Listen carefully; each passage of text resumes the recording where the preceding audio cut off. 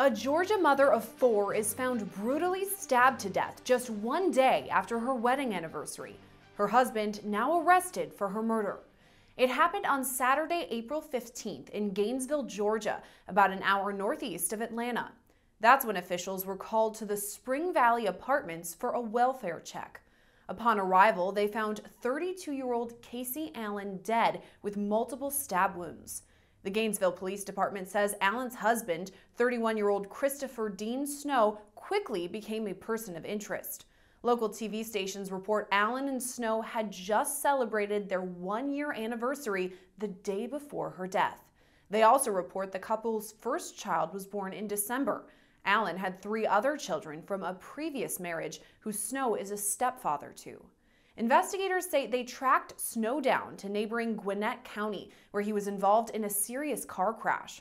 Officials say he's been charged with felony murder.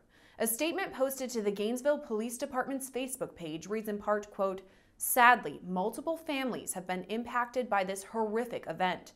As an agency, we will continue to support the families even long after the investigation is complete. Since the statement was posted, more than 100 people have commented on it with an outpouring of support for Allen and her family.